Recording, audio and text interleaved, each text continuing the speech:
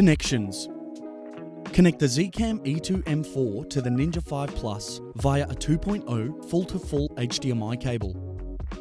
Connect USB C to serial LAN C from Zcam to Ninja V Plus for camera controls. Zcam E2 M4 configurations. Power on the Zcam.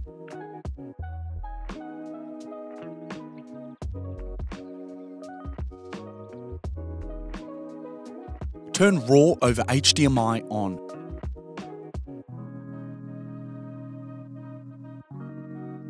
In the record menu, navigate to resolution and set to 4K. Navigate to project FPS and set to 23.98. Set variable frame rate to 120. For 4K recording at 100 frames per second, set the project FPS to 25. The 100 FPS option in the variable frame rate menu isn't available if you've previously selected an NTSC frame rate under Project FPS. Power settings for uninterrupted recording. In the System menu, navigate to Power and disable Auto Power Off.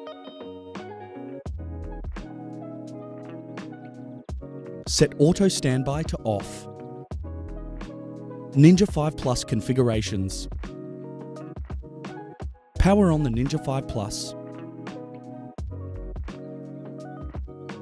Ensure you have ProRes RAW activated on your Ninja V Plus.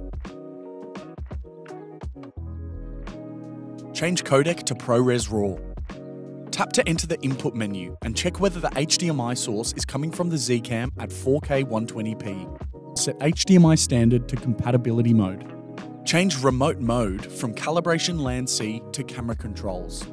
Touch the blue camera icon and check whether camera controls can be altered via the Ninja V Plus touchscreen. Touch audio meters to bring up the recording channels in the meters menu. Enable analog if necessary, disable if not. To record the camera audio on the Ninja V Plus, check the recording button below the channel 1 and 2 meters. If you require more support, please visit atomos.com/support. Until next time, go get creative.